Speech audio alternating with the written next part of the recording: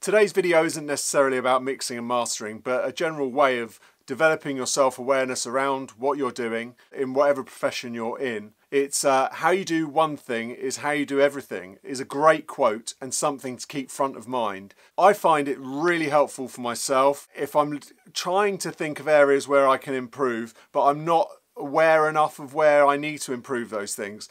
Um, for example, if I'm being slapdash in doing some work and I'm just letting it go, getting there to sort of 80% of it and then saying, okay, that's all right, that'll do. If I'm doing that in my personal life, then I know that's going to happen in my work life. And so then I'll look out for that in my work life and then try and stop that from happening, and then that will upgrade me.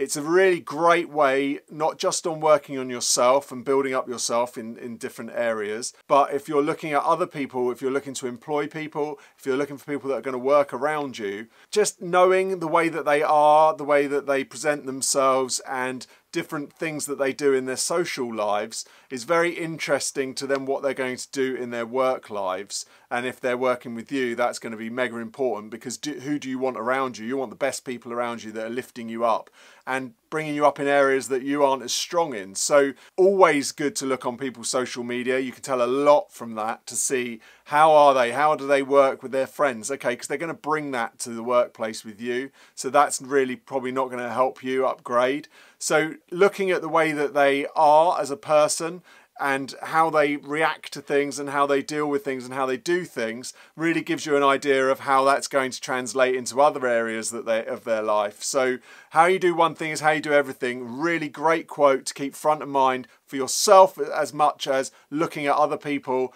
and sort of having that awareness around everything that people do. If they're going to be sloppy in one area, they're going to be sloppy in the same area, but in a working environment and in other areas in their life, not just work, home, but it's going to be in other areas. If they're sloppy there, they're going to be sloppy there. So, yeah, I hope that's helped you in some way. Please uh, give me some comments and let me know your thoughts on this. Please subscribe. Thanks for watching. Goodbye.